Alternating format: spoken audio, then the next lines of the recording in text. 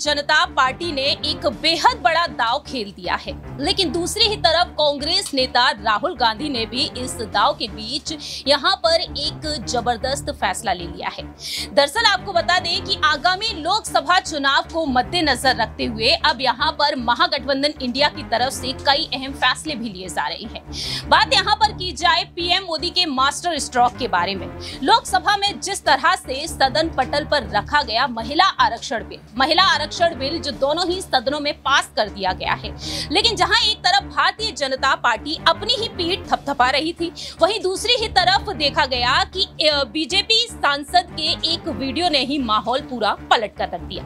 हम बात कर रहे हैं यहाँ पर बीजेपी सांसद रमेश बिधुड़ी के बारे में। जी हाँ जिन्होंने बसपा सुप्रीमो मायावती को यहाँ पर देखा जाए, एक बेहद बड़ी चुनौती दे दी है, क्योंकि यहाँ पर जिस तरह से बसपा सांसद दानिश अली पर जिस तरह से उन्होंने जो शब्द बोले हैं जो अमर्यादित भाषा का इस्तेमाल किया है भरे सदन में, जिसके बाद से देखा जाए, अब यही मांग की जा रही है कि उनकी सदस्यता को रद्द किया जाना चाहिए, उन्हें सस्पेंड कर दिया जाना चाहिए। दूसरी ही तरफ़, लोकसभा अध्यक्ष ओम बिरला जी ने भी उन्हें चेतावनी दे दी है। लेकिन इसी बीच, यहाँ पर दानिश अली को झप्पी देते हुए नज़र आए हैं राहुल गांधी, और ऐसे में राहुल गांधी ने एक बेहद बड़ा दाव खेल दिया है। नमस्कार, मैं प्रांशी राठौर, और आप देख रहे हैं नेक्स्ट नाइन न्यूज़ दरअसल, आपको बता दें कि लोकसभा चुनाव को मद्देनजर रखते हुए 26 राजनीतिक दल एकजुट हुए और 26 राजनीतिक दलों ने एकजुट होकर मोदी सरकार को बीजेपी खेमे को चुनौती दी है कि इस बार 2024 में लोकसभा चुनाव में भारतीय जनता पार्टी नहीं, बल्कि महागठबंधन की जीत होगी। राहुल गांधी भी ये साफ़ कर चुके हैं। लेकिन इसी बीच यहाँ पर सभी की नज़रें टिकी हुई हैं कि आखिरकार बहुजन समाज पार्टी की सुप्रीमो मायावती का क्या फैसला बदलता हुआ नज़र आएगा या फिर नहीं। दरअसल आपको बता दें कि मायावती पहले ही ये साफ़ कर चुकी है कि विधानसभा चुनाव हो या फिर लोकसभा चुनाव हो, लेकिन दोनों ही चुनाव वह अकेले ही अपने दम पर लड़ेंगी। लेकिन कांग्रेस खेमे की तरफ़ से कोशिशें लगातार जारी है। और इसी बीच यहाँ पर बीजेपी सांसद दानिश अली से जिस तरह से मिलने पहुँचे राहुल गांधी, उन्होंने पूरी पूरी बातचीत बाजी पलट दी है। सबसे पहले आपको दिखाएँगे एक रिपोर्ट और इस रिपोर्ट के ज़रिए बताएँगे कि किस तरह से माहौल गर्मा गया है जब सदन में रमेश विधुड़ी ने जिस तरह से अमर्यादित शब्दों का इस्तेमाल किया यहाँ पर दानिश अली दानिश अली के लिए। देखिए सर। क्या बातचीत आपकी हुई? मुलाकात हुई? सस्पेंड करने की बात चल रही है रमेश राहुल जी कल सदन में नहीं थे।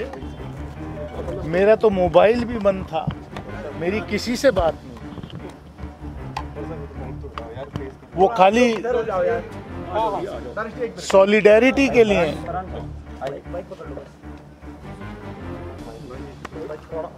मेरा हौसला बुलंद करने के लिए वो यहाँ आए कि अपने आप को अकेला मत समझिए। इस देश के का हर वो व्यक्ति जो देश के लोकतंत्र में विश्वास रखता है वो आपके साथ खड़ा है। और क्या कुछ कहा राहुल जी ने? आपसे मुलाकात हुई रमेश बिदुरी के व्यवहार को लेकर के लैंग्वेज को लेकर। उन्होंने इतना ही कहा कि इसको दिल पे मत लीजिए अपनी सेहत का ख्याल रखिए। आज दिन लेकिन दिल पे लगने वाली बात तो है। दिल पर लगने वाली बात है। आज दिन भर काफ़ी हलचल होती रही। आपने प्रेस कॉन्फ्रेंस की थी उसके बावजूद भी काफ़ी राजनीतिक प्रतिक्रिया आई और विपक्षी दलों ने काफ़ी विरोध भी किया है बयान का। मांग की जा रही है अलग तरह की। अब आप जब शाम हो गई है किस तरह से इस पूरे प्रकरण को देख रहे हैं? आगे क्या एक्शन होना चाहिए? आप क्या चाहते हैं? मुझे इस बात का थोड़ा रिलीफ मिला है कि मैं अकेला नहीं खड़ा कि पूरा विपक्ष की सॉलिडेरिटी मेरे साथ है और मैं अकेला नहीं हूँ, वो जो हमला है वो मेरे ऊपर, अकेले के ऊपर नहीं है, वो खाली दानिश अली के ऊपर वो हमला नहीं वो हमला इस लोकतंत्र पे वो हमला संविधान पे है, वो हमला जो नफरत की दुकानें सड़कों पर लगती थी वो अब नफरत की दुकान इस अमृतकाल में इस नए भारत के नए संसद के परिसर में लगनी शुरू हो गई। इसका मुझे अफसोस है। जिसका करने की बात आपने की है मांग की है स्पीकर से। अगर उधर से कार्रवाई नहीं होती तो क्या कोई लीगल एक्शन भी एक मिनट कोई लीगल एक्शन भी कोई पुलिस में लिखित शिकायत या कुछ ऐसा? देखिए, मैं उस सब में नहीं जा रहा। मैं सिर्फ़ इतना, मैंने जो मेरी मांग या जो मेरी शिकायत लोकसभा अध्यक्ष हमारे संरक्षक हैं, वो एक इंस्टीट्यूशन है, वो पद जो कल की भी जो वहाँ लोकसभा में जो टिप्पणी रमेश बिदूड़ी जी की तरफ़ से हुई, शायद पूरा वीडियो देखिए, उसमें शुरू में उन्होंने जो अभद्र भाषा का प्रयोग किया, वो प्रधानमंत्री जी को लेकर के रेफरेंस में किया, जिसका मैंने विरोध किया कि prime minister is an institution आप नहीं कर सकते इस भाषा का प्रयोग। उसका मैंने विरोध किया, जिस पर वो रिएक्ट किए। क्या प्रधानमंत्री के इंस्टीट्यूशन को इज़्ज़त, उसकी इज़्ज़त बरकरार रहे, उस पर मेरा खड़ा होना भाजपा के सांसद को बुरा बुरा लग गया? और भाजपा के वरिष्ठ सांसद पीछे से बैठ करके जो है मेज थपथपा रहे हंस रहे हैं।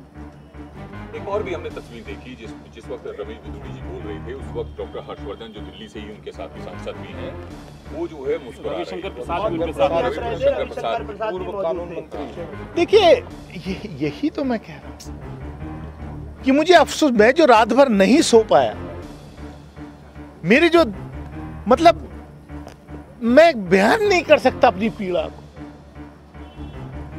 आपके साथ हैं सब लोग। पूरा ये देश साथ ये पूरा ये ये ये ये ये जो हुआ है ये मेरा इंडिविजुअल नहीं। आप आप इस देश में अमृत काल में क्या हमारे पुरखों ने इसलिए आज़ादी इस मुल्क को दिलाई थी?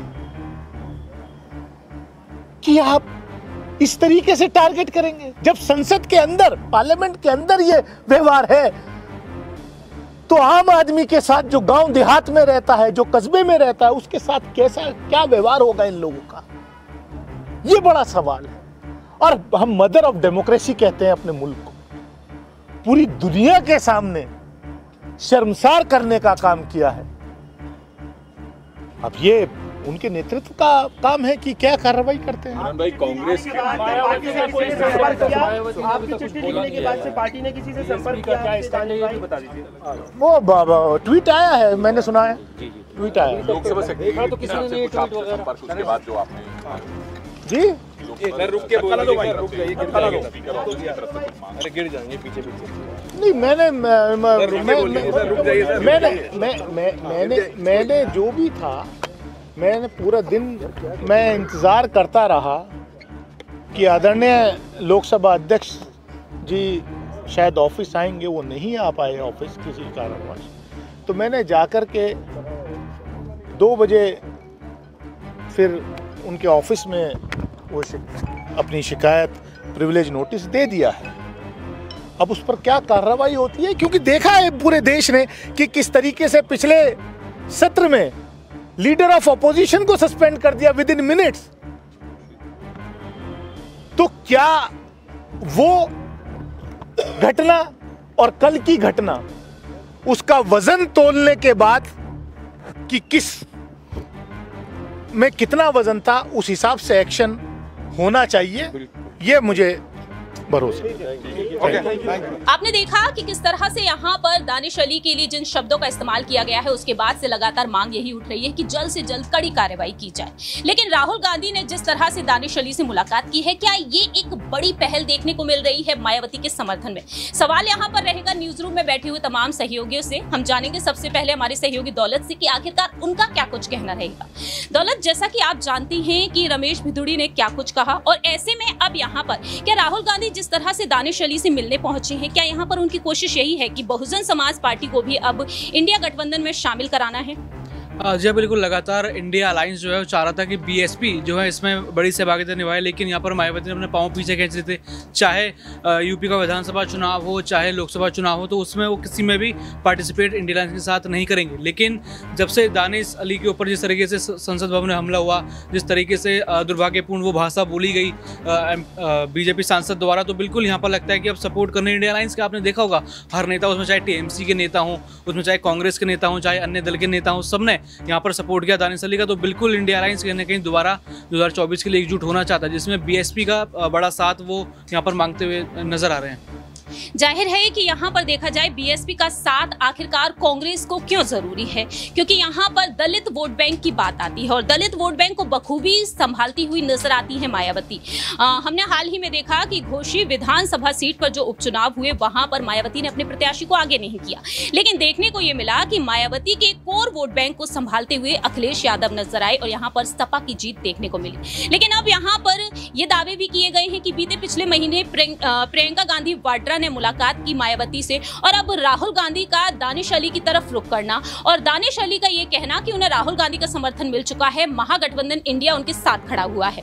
तो ऐसे में क्या वाकई में यहाँ पर एक बड़ी कोशिश जिस तरह से की जा रही है, क्या मायावती का फैसला पलटेगा? सवाल यहाँ पर रहेगा प्रज्ञा से कि आखिरकार वह क्या कुछ कहना चाहेंगी। जैसा कि प्रज्ञा आप भी जानती हैं कि मायावती जो ऐलान कर चुकी है, उसके बाद से यहाँ पर उन्हें मनाना काफ़ी मुश्किल माना जा रहा है। बार बार यही कहा जा रहा है कि मायावती इस गठबंधन की तरफ़ रुख नहीं करेंगी। क्या राहुल गांधी की रणनीति और प्रियंका गांधी की रणनीति ये रंग लाएगी? क्योंकि यहाँ पर देखा जाए चंद्रशेखर आज़ाद जो अखिलेश यादव की पार्टी के साथ जुड़े हुए हैं और दूसरी ही तरफ़ यहाँ पर जयंत चौधरी भी जुड़े हुए हैं। तो यहाँ पर रालोद पार्टी के जो कार्यकर्ता है, वो चाहते हैं कि मायावती उनके साथ हो, लेकिन चंद्रशेखर आज़ाद के चलते क्या यहाँ पर मुश्किलें खड़ी हो सकती हैं, अगर मायावती फैसला बदलती है? देखिए, बिल्कुल यहाँ पर मुश्किलें खड़ी हो सकती हैं, लेकिन यहाँ पर मैं अगर बात करूँ, जिस तरीके से अभी इंडिया गठबंधन जो है, कई मुद्दों को लेकर कहीं ना कहीं एनडीए पर हावी होता हुआ नज़र आ रहा है। सबसे पहले अगर मैं बात करूँ तो हमने देखा था कि, इस तरीके से अध्यादेश के मुद्दे को लेकर अरविंद केजरीवाल के साथ कांग्रेस ने हाथ मिलाया। समर्थन किया हालाँकि वो लोकसभा चुनाव में साथ होंगे या नहीं इस पर हामी नहीं भरी थी। वहीं मणिपुर का किस्सा आप सभी जानते हैं कि मणिपुर हिंसा को लेकर जिस तरीके से ये तमाम चीज़ें हम सभी ने देखी तो कहीं ना कहीं मुझे ऐसा लग रहा है कि मायावती भी इस चीज़ को समझ रही हैं कि इस वक्त वो विपक्ष से हाथ मिलाएँ तो उनका ज़्यादा यहाँ पर कह सकते हैं कि फ़ायदा हो सकता है। चुनाव में कहीं ना कहीं वोट बैंक के हिसाब से भी उन्हें काफ़ी ज़्यादा फ़ायदा होता हुआ नज़र आएगा। और देखिए जो कुछ लोकसभा में हुआ और साफ़ तौर पर यहाँ पर कहीं ना कहीं राहुल गांधी का मुलाकात करना, दानिश अली का उनके समर्थन में बोलना, इस बात की ओर इशारा कर रहा है कि हो सकता है आने वाले समय में मायावती अपना फैसला बदल दें। जिस तरह से देखा जाए तो कांग्रेस पार्टी एक बड़ी रणनीति बना रही है, लेकिन क्या कोशिशें यहाँ पर समाजवादी पार्टी की तरफ़ से भी नज़र आएँगी? क्योंकि मायावती ने साफ़ तौर पर कहा था कि अगर गेस्ट हाउस कांड ना हुआ होता तो आज भी यूपी में सपा और बसपा का गठबंधन राज कर रहा होता। तो सवाल यहाँ पर रहेंगे तुषार से कि आखिरकार वह क्या कुछ कहना चाहेंगे? क्योंकि डिम्पल यादव से लेकर अखिलेश यादव तक ने यहाँ पर दानिश अली का साथ दिया है। ऐसे में क्या यहाँ पर रुख बदलता हुआ नज़र आ सकता है? अब डिम्पल यादव और अखिलेश यादव का क्या वाकई में मायावती यहाँ पर नरम दिल होती हुई नज़र आएँगी? जी देखिए, जिस तरीके से अभी तक मायावती का जो रुख रहा है, वो सीधा सीधा वो यही कहती हुई नज़र आई है कि उन्होंने कहा है कि हम अकेले ही चलने वाले हैं। ना तो वो भारतीय जनता पार्टी के एनडीए के खेमे में जाने को तैयार हैं अभी और ना ही इंडिया खेमे में जाने को तैयार है। तो जिस तरीके से मायावती इस समय अपना पूरा का पूरा जो उन्होंने अपना रुख अकेले चलने का बनाया हुआ है, मुझे नहीं लगता है कि वो इनसे बदलती हुई नज़र आएँगी। वो बात अलग है कि कई मुद्दों पर कुछ पार्टियाँ जो है, वो एक दूसरे का साथ देती हुई नज़र आती हैं। वो भी तब जब उनका दुश्मन एक होता है। हमने देखा है कि भारतीय जनता पार्टी के खिलाफ यहाँ पर जो है कांग्रेस सपा का साथ देती है, बीएसपी का साथ देती है, बीएसपी भी कभी कभार साथ दे देती है। लेकिन बीएसपी, मायावती का भी जब बयान आया, तब उन्होंने क्या कहा अपने बयान में? उन्होंने भी अपने बयान में यही कहा कि जिस तरीके से लोकसभा ने लोकसभा स्पीकर जो ओम बिरला है, उन्होंने जो चेतावनी दी है, वो तो ठीक है। लेकिन यहाँ पर पार्टी की तरफ़ से कोई भी एक उनके ऊपर कार्यवाही या कोई एक्शन नहीं लिया गया और उसके लिए वो चिंताजनक है। और यहाँ पर कांग्रेस पार्टी क्या कह रही है? इंडिया का खेमा क्या कह रहा है? वो भी भारतीय जनता पार्टी को ही घेर रहा है। तो हमें ये समझने की ज़रूरत है कि जिस तरीके से इन सभी पार्टियों का जो दुश्मन है वो एक है। यानी कि जो विपक्ष मतलब जो पक्ष में बैठा है मोदी सरकार। लेकिन इसका मतलब ये नहीं है कि जैसे भी इंडिया गठबंधन बना है वो बहुत तेज़ी से आगे बढ़ रहा है। लेकिन जहाँ तक आप मायावती का सवाल कर रहे हैं, मुझे नहीं लगता कि मायावती इंडिया गठबंधन में जो है वो आने का सोच सोच तो रही होंगी, लेकिन आएँगी। और यहाँ पर इंडिया गठबंधन को जबकि ज़रूरत है मायावती की, अगर वो आएँगी तो हो सकता है कि उनके सीटों में और ज़्यादा इजाफा होगा, वोट बैंक उनका और ज़्यादा बढ़ेगा। लेकिन मायावती अभी इस पर स्ट्रॉन्ग होल्ड रख के ये चल रहे हैं कि मुझे भी कहीं नहीं जाना है, मुझे अकेले ही चलना है, बल्कि अकेले जाके वो हारेंगी भी। उतनी सीटें वो नहीं ला पाएँगी या उतना उनका नाम नहीं हो पाएगा जब वो इंडिया गठबंधन में होगा, लेकिन फिर भी वो एकला चलो की जो नीति अपना रही है, उस पर वो कायम है और वो उस पर नहीं बदलने वाली आखिरी कुछ सवाल रहेंगे यहाँ पर हमारे सहयोगी ऋतिक से कि आखिरकार वे क्या कुछ कहना चाहेंगे? जिस तरह से ऋतिक आपने देखा है जमीनी स्तर पर जुड़ते हुए, जब जनता के बीच आप भी उतरे हैं तो आपने जाना है कि मोदी सरकार के लिए लोगों का क्या कुछ कहना रहा है। लेकिन राहुल गांधी जिस तरह से दाव खेले, भारत जोड़ो यात्रा 2.0 की शुरुआत होने जा रही है और Mayawati core core vote bank को संभालने की पूरी पूरी कोशिश जिस तरह से कर रही है, लेकिन कहीं ना कहीं वह पिछड़ती हुई नज़र आ रही है। तो ऐसे में यहाँ पर अरविंद केजरीवाल ने भी कहा था राहुल गांधी के लिए कि जब उनकी सांसदी रद्द हुई तो हम उनके साथ हैं, लेकिन लोकतंत्र खतरे में इसके लिए हम साथ आ सकते हैं। तो क्या मायावती इसके खातिर साथ में दिखाई देंगे? लेकिन नफरत छोड़ो, भारत छोड़ो। राहुल गांधी जिस तरीके से भारत जोड़ा प्रथम की उससे लगा कि अब पूरा देश जुड़ रहा है। तमाम पार्टियों ने कांग्रेस पार्टी का समर्थन किया और एक गठबंधन बनाया जिसको इंडिया नाम दिया गया। सबसे बड़ी बात यह कि मायावती अगर गठबंधन में शामिल नहीं हो रही तो उससे उनको फ़ायदा क्या है? पहले तो ये कहा गया कि यहाँ पर चंद्रशेखर आज़ाद और मायावती मिलकर दलितों के वोट बैंक को इकट्ठा करने का काम करेंगे। लेकिन इसके बावजूद भी आपने देखा कि अभी चंद्रशेखर आज़ाद और मायावती को लेकर कोई भी खबर सामने नहीं आई है कि गठबंधन करेंगे। तो इंडिया गठबंधन में जितनी भी पार्टियाँ शामिल है, छब्बीस विपक्ष की पार्टियाँ, वो कहीं ना कहीं जो है एनडीओ को चुनौती देंगी। लेकिन रही मायावती की बात, अगर वो अकेले चुनाव लड़ना चाहते तो उससे उनको कोई भी फ़ायदा नहीं होने वाली है। अब हम ज़िक्र कर लेते दानिश अली का यहाँ पर। दानिश अली ने राहुल गांधी से मुलाकात क्यों की दानिश अली यहाँ पर कहीं ना कहीं जो है मायावती से मुलाकात कर सकते थे या फिर मायावती के माध्यम से एक पत्र को भी जो है साझा कर सकते थे। लेकिन उनको पता था कि अगर राहुल गांधी से मुलाकात करते तो राहुल गांधी इस बात को संसद में रखते हुए नज़र आएँगे, क्योंकि राहुल गांधी वही नेता है जिसने अडानी के मुद्दे को उठाया, जिसने महिलाओं के मुद्दे को उठाया, जिसने मणिपुर के मुद्दे को उठाया। तो शायद यही मुद्दा उठाने की बात करेंगे दानिश अली की। अब जो सांसद हैं या फिर जो नेता हैं, उनको दबाव बनाया जा रहा है, उनको गाली गलोच किया जा रहा है। तो मुझे लगता है कि दानिश अली ज़रूर जो है आने वाले समय में कहीं ना कहीं कांग्रेस पार्टी या फिर इंडिया गठबंधन का जो है साथ थामेंगे, साथ आएँगे और अगर यहाँ पर मायावती साथ नहीं आती तो उनको उससे ही घाटा है आखिरी छोटा सा सवाल, साठ गांठ की राजनीति देखने को मिल रही है इंडिया इंडिया गठबंधन के बीच और बसपा के बीच। लेकिन दूसरी ही तरफ़ यहाँ पर मोदी सरकार है जो एक एक करके देखा जाए, कई नेता को सस्पेंड यहाँ पर जिस तरीके से किया जा रहा है। तो आखिरकार इसको लेकर आप क्या कहेंगे? अपने ही नेता को यहाँ पंद्रह दिन का मौका दिया जा रहा है, नोटिस जारी कर दिया गया, लेकिन बाकी तमाम विपक्षी दल के नेता है, उन पर सेकंड भर में यहाँ पर फैसला ले लिया जाता है। तभी तो कहते हैं अपना अपना होता है। आप समझिए ना कि राहुल गांधी कुछ भी बोल देते, मानहानि का केस लगा दिया जाता है, संसद से जो है बाहर निकाल दिया जाता है। रातों रात उनकी जो है सदस्यता खत्म कर दी जाती है। कोर्ट के फैसले किस तरीके से आते हैं, आपने वह भी देखा। गुजरात फैसला कोर्ट का फैसला क्या आता है, फिर सुप्रीम कोर्ट का फैसला क्या हो जाता है, आपने ये भी देखा। यानी कि कानून व्यवस्था, न्याय व्यवस्था पर भी सवाल खड़े किए गए। और कोई नेता होता तो ईडी, सीबीआई पहुँच जाती और कोई नेता होता तो अभी ये देखना देखा जाता कि कितनी संपत्ति है। अब बिधूड़ी की जब हम लोग बात करें तो यहाँ पर ये समझना पड़ेगा कि बिधूड़ी भाजपा पार्टी के नेता है और ये कहा जाता है कट्टर नेता है। उनको भी बाहुबली की संज्ञा दी जाती है। दिल्ली में उनका क्या रौब रहा तो आप सभी ने देखा। तो मुझे लगता है कि यहाँ पर मौका नहीं देना चाहिए, साफ़ तौर पर बर्खास्त कर देना चाहिए ताकि ये लगे कि विशुद्ध राजनीति की दास्तान में लोकतांत्रिक मूल्यों का हनन नहीं हो रहा है। क्योंकि ये लगातार देखा जाए तो ये लोकतांत्रिक मूल्यों का हनन है, जिस तरीके से यहाँ पर बिधूड़ी को जो है यहाँ पर बचाया जा रहा है। आप समझिए, ये साफ़ तौर पर कहा गया कि ये सिर्फ़ दानिश अली के लिए नहीं, पूरे मुस्लिम समाज के लिए है कि आप मुस्लिम के लिए क्या सोचते हैं? आपने किन शब्दों का उपयोग किया। आपने धर्म को लेकर किस तरीके की बातें की? वो गाली नहीं थी। वो मुस्लिम समुदाय को टारगेट करने का ही था कि आपको दिखाने का कि आप कौन हो।